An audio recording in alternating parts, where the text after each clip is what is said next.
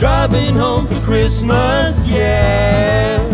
Get my feet on holy ground. So sing for you, though you can't hear me when I